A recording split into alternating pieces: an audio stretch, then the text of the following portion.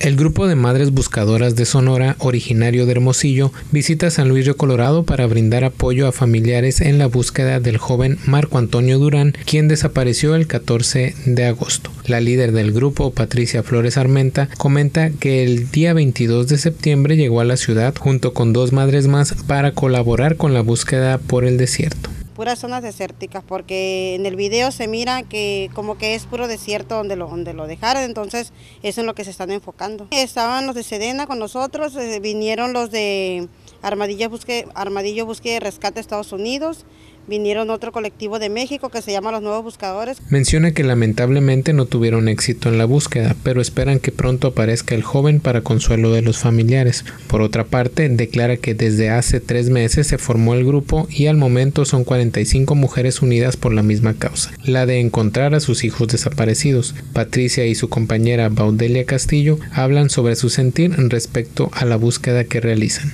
Un hijo desaparecido es, es una madre desaparecida, porque vivir sin un hijo es no vivir. Hace cuenta que a ellos se los llevan y nos llevan a nosotros también.